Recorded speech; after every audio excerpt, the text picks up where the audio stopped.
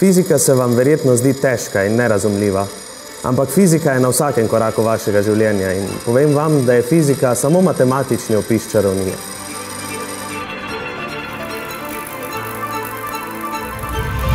To je Teslova tuljava, jaz nažalost nisem Nikola Tesla, sem pa Mitja Sovajac in sem fizik.